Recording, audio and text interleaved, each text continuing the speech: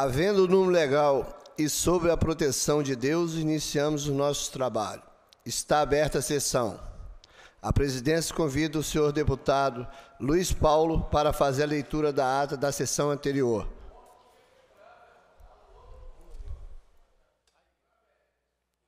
Tranquilo. Senhor presidente em exercício, deputado Valdaceasa, a ata reflete com exatidão o ocorrido na centésima décima sessão ordinária, que iniciada às 14 horas, encerrou-se às 16 horas e 37 minutos. Lida e aprovada a ata, passa-se ao expediente inicial. O próximo orador inscrito é o senhor Luiz Paulo, que dispõe de 10 minutos.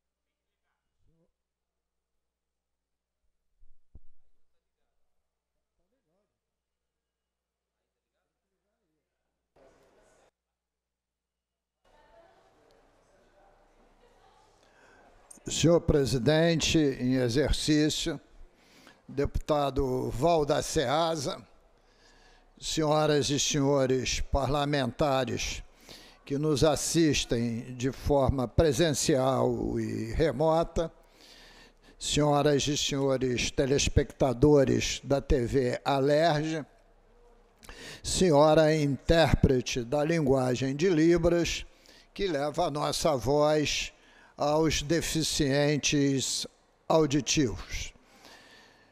Senhor presidente, no dia 2 de dezembro, né, isto é, na semana passada, estávamos aguardando com, a, com ansiedade a chegada dessa data, visto que haveria uma reunião no Supremo Tribunal Federal com diversos representantes da União, com representantes dos estados e do Distrito Federal, para encontrarem uma solução aos impasses federativos surgidos com o advento das leis complementares 192 de 22 e 194 de 22. E lá no Supremo, o relator dessa matéria é o ministro Gilmar Mendes. Estas duas leis complementares são aquelas que, em relação aos estados brasileiros, teria havido uma intromissão do Congresso Nacional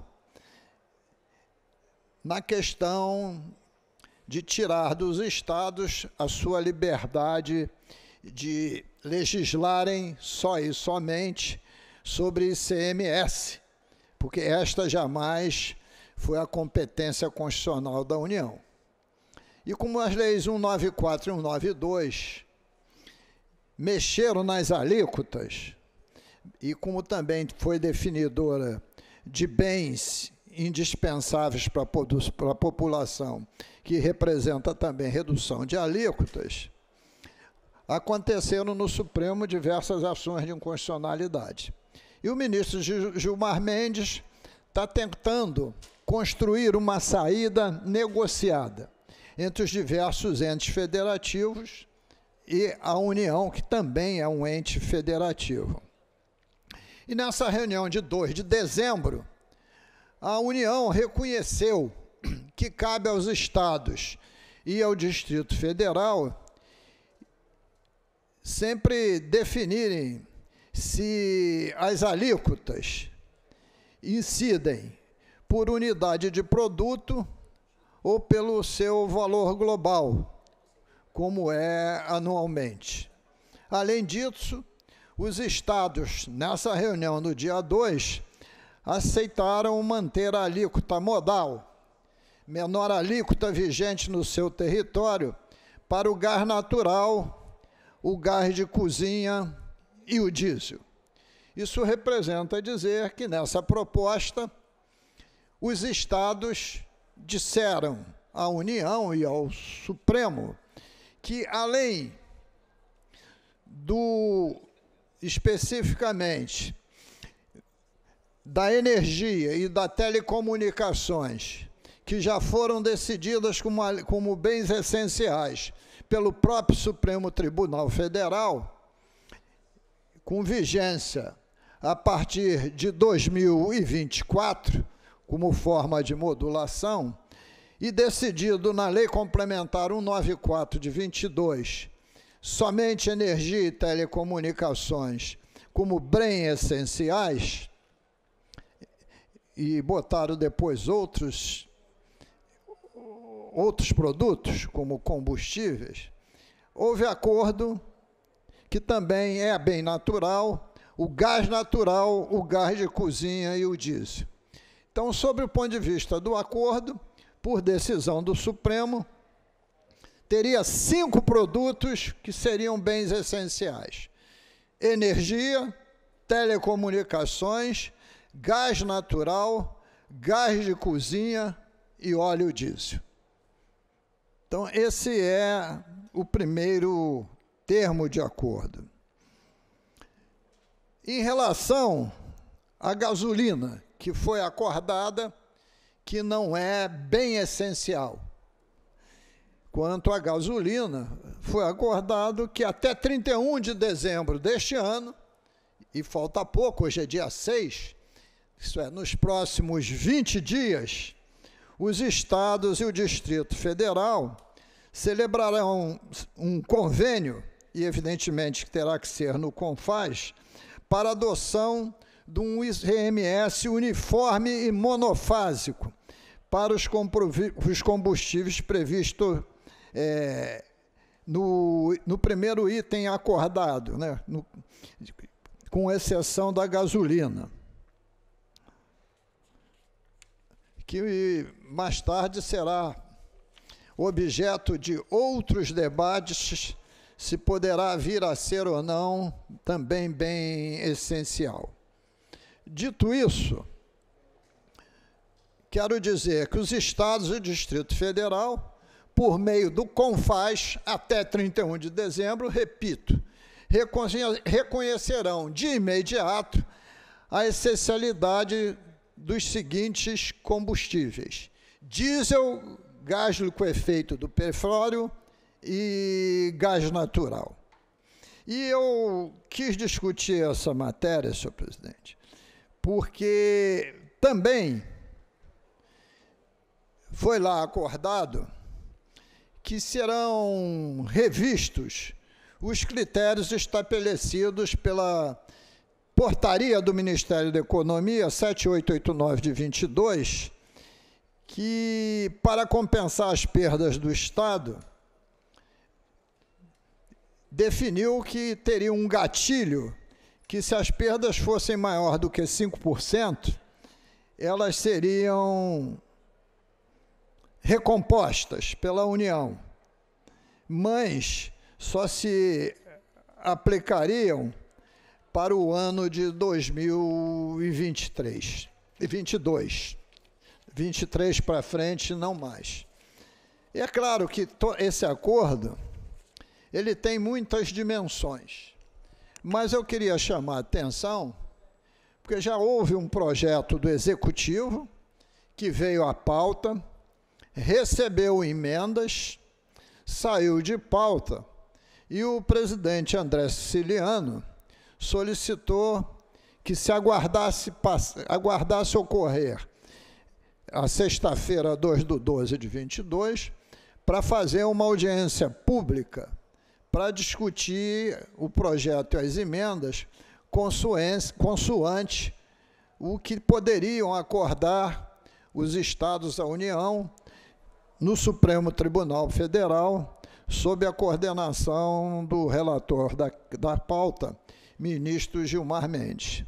E nós vamos fazer essa audiência pública na segunda-feira, agora, na parte da manhã, porque possivelmente ao sair a pauta da semana que vem, na próxima sexta-feira, esse projeto retornará à pauta. E é um dos projetos mais difíceis de serem enfrentados. Mas, além disso, senhor presidente, precisa vir à pauta o projeto de lei, também originário do Poder Executivo, que trata da questão específica da distribuição de um quarto dos 25% do ICMS que vai para os municípios para investir em educação, com critérios objetivos para ver que municípios poderão participar dos mesmos ou não. Mas neste projeto de lei, o ministro Barroso recebeu uma ação de inconstitucionalidade do município da capital em relação à lei que estava tramitando, porque não incluía o município da capital na lei geral do ICMS no que diz respeito a um quarto dos 25% que cabe aos municípios. E que esta lei não poderia ser votada enquanto não incluísse o município da capital. Então, essa lei também já veio à pauta, recebeu emenda, saiu de pauta, e está aguardando uma decisão do governador, que está calado sobre o tema, dando tempo ao tempo. Dando ao tempo ao tempo.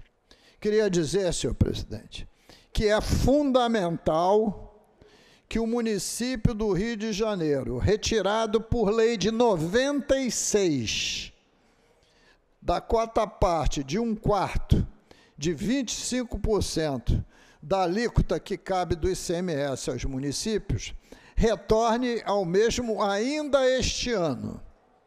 Senhor presidente, tenho absoluta certeza que isto virá à pauta. Mas não, não, se não vier, eu serei o primeiro a solicitar trancamento de pauta enquanto não votarem todos os vetos vencidos, isto é, que por mais de que já passados 30 dias, como determina a Constituição, ainda não foram votados. Então, queria fazer menção é, a essas questões, porque eu considero, e Vossa Excelência, independente das suas posições, há de concordar comigo, que é preferível decidir, mesmo que essas decisões momentâneas não sejam as melhores, do que não decidir. Porque quando você não decide, o tempo decide por você. Agora, o tempo pode decidir em anos. Enquanto isso, tanto o município da capital, em relação ao tema do ICMS, está perdendo aproximadamente 250 milhões por ano. Porque, a rigor, por decisão do Supremo, ele tem que entrar na lei do ICMS mas também tem que repor as perdas desde 96.